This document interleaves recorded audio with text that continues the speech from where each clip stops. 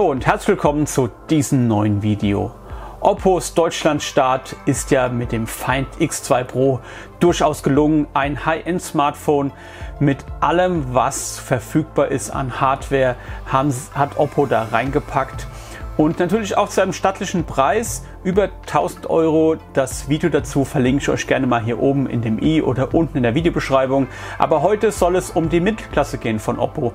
Das Oppo A91 ist ein Mittelklasse-Smartphone, mit dem Oppo versucht natürlich in den Reihen von Xiaomi, Redmi und so weiter zu punkten. Wir schauen uns heute das Gerät genau an. Ich schildere euch meine ersten Eindrücke und dann geht's los nach dem Intro.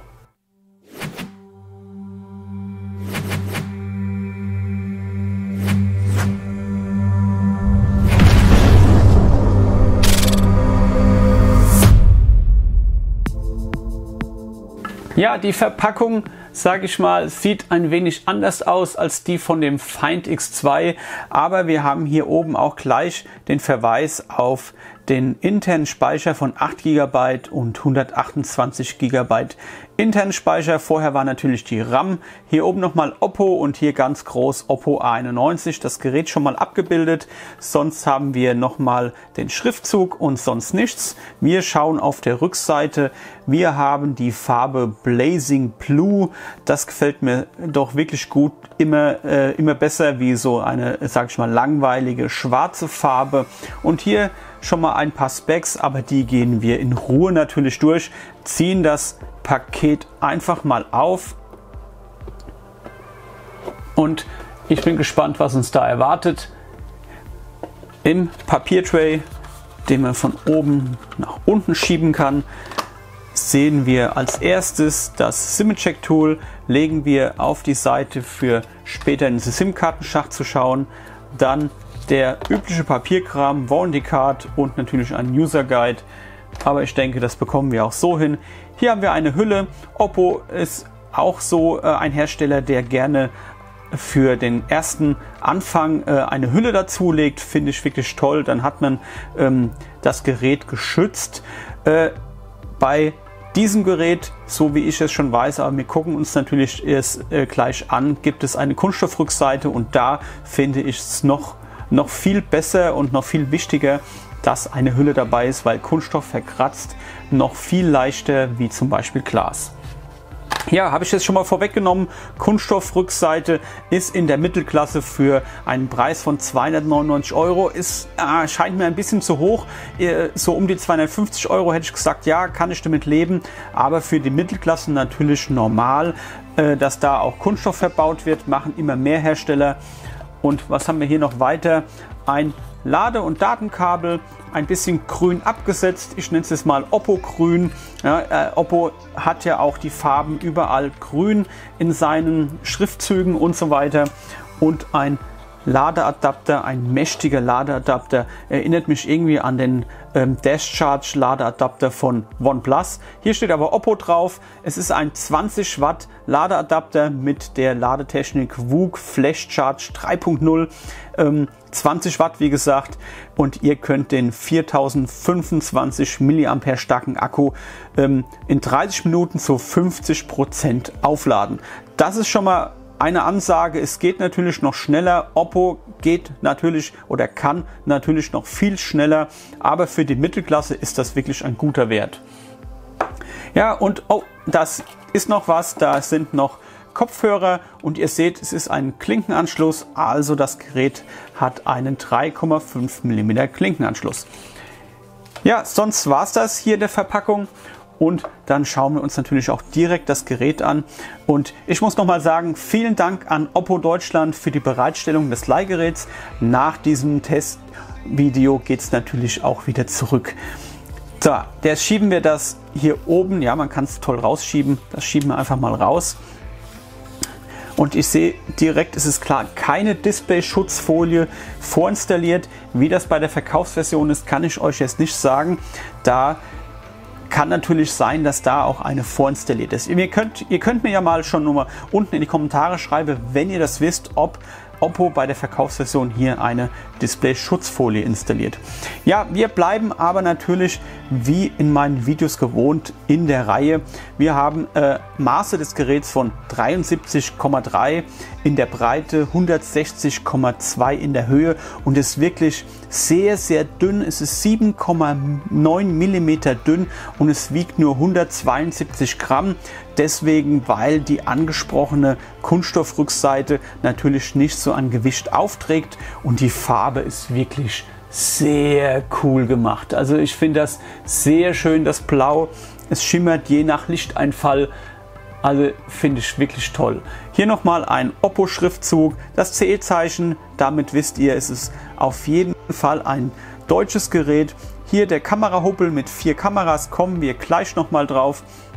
Fangen wir oder machen wir weiter mit dem Rahmen, der aus, ja, auch aus Kunststoff ist. Hier in einer, ja, doch gut erreichbaren Höhe der Power-Button, den wir auch natürlich gleich mal drücken und gucken, ob auch ein bisschen Saft drauf ist. Jawohl.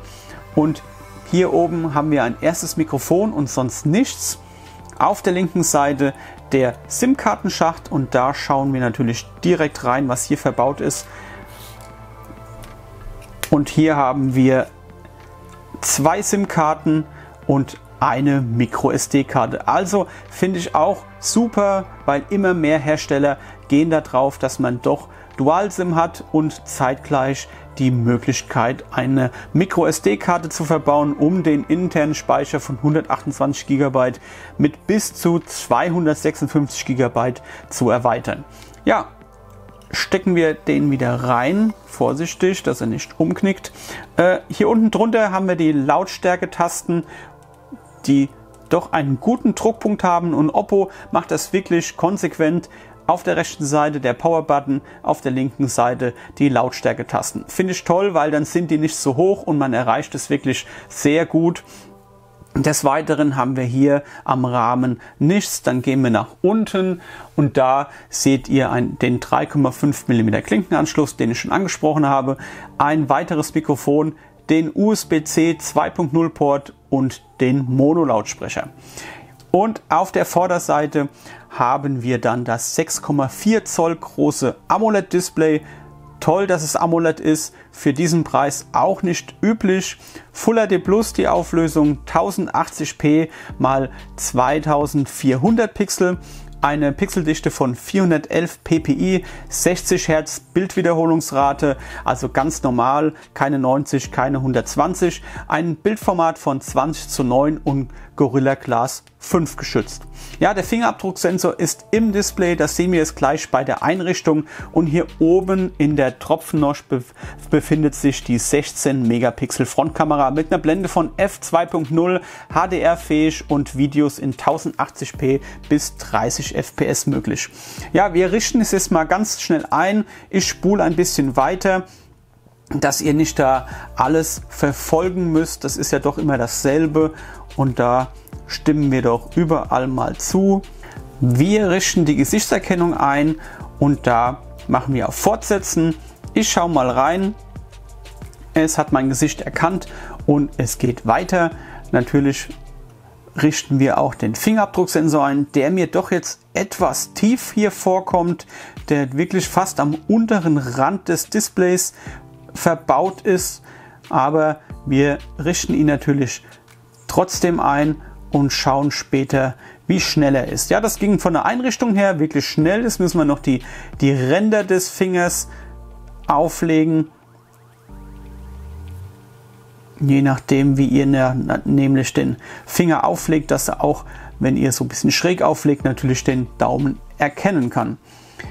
Jetzt überprüfen wir doch mal die Geschwindigkeit des Fingerabdrucksensors. Er kommt mir doch durchaus ein bisschen zu weit unten platziert vor. Also ich muss wirklich den Daumen ganz weit nach unten und äh, aber er ist doch schon relativ schnell, das kann man sagen, und er wirkt mir doch auch sehr, sehr zuverlässig. Ja, die Gesichtserkennung testen wir natürlich auch noch. Das Schloss geht auf. Ich denke mal, das kann man natürlich auch wieder ausschalten und die ist wirklich schnell, obwohl natürlich das nicht unbedingt eine Alternative für die Sicherheit ist, aber sie ist zumindest da. Ja, wir wollen als neues Oppo-Gerät und jetzt willkommen. Und jetzt seht ihr die, ja, ein bisschen, ja, was schade ist, es ist ColorOS 6 in der Version 6. Es gibt ja mittlerweile ColorOS 7.1 und ich hoffe für dieses Gerät, weil ich finde es gar nicht so verkehrt. Jawohl, hier meldet sich auch das Phone. Ähm, ich finde dieses Gerät gar nicht verkehrt und ich hoffe und ich äh, denke schon, dass Oppo hingeht und da auch noch Update auf ColorOS 7.1, weil die zweite, ja, ich nenne es mal Krux an der ganzen Geschichte, ist auch noch Android 9 ist hier installiert. Ich hoffe und äh, ich denke schon, dass Android 10 auch als Update folgen wird. Ja, wir gehen doch noch mal schnell auf die Rückseite. Da hätten wir beinahe die Kameras vergessen ein Quad-Kamerasystem. Wir haben die 48 Megapixel Hauptkamera mit einer Blende von f 1.8 ähm, mit Pixel-Binning natürlich. Die Bilder werden in 12 Megapixel geschossen und dann schön zusammengerechnet. Äh, eine 8 Megapixel Ultra-Weitwinkelkamera mit einer Blende von f2.2. 2 Megapixel Monosensor, also schwarz-weiß mit einer Blende von f2.4, einen 2 Megapixel Tiefensensor mit einer Blende von f2.4. HDR-fähig, 1080p mit 30 FPS Videos, auch etwas schade, aber ich sage euch gleich, woran das liegt und es gibt noch eine elektronische Bildstabilisierung.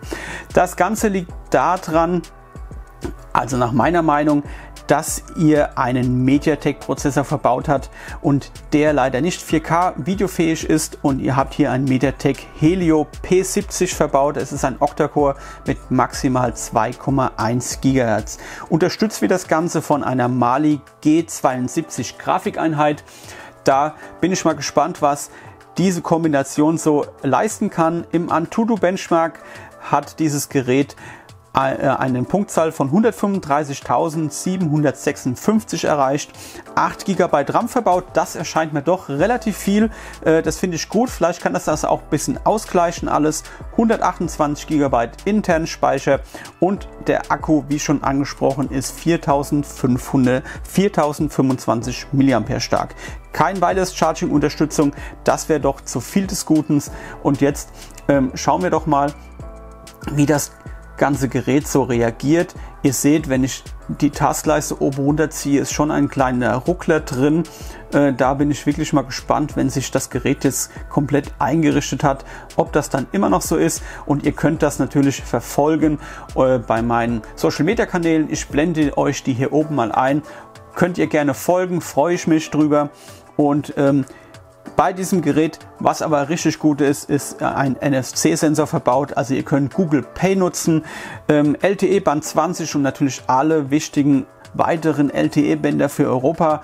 Bluetooth 4.2, leider auch nur 4.2. Es ist ein bisschen, ja, ein bisschen älter. Es kommt mir so vor, als ob es ein älteres Gerät ist, eher aus 2019, was jetzt nochmal in Europa quasi neu auf den Markt gekommen ist. WLAN habt ihr Unterstützung von A, B, G, N, AC und AX, Wi-Fi Direct fähig und äh, natürlich keine IP-Zertifizierung. Ja, das war's soweit zu dem Oppo A91 Mittelklasse-Gerät und wenn euch das Video gefallen hat, lasst gerne einen Kommentar und eine Bewertung da, um keine weiteren Videos zu verpassen. Abonniert gerne diesen Kanal und dann bleibt eigentlich nur zu sagen, bis zum nächsten Video. Ciao!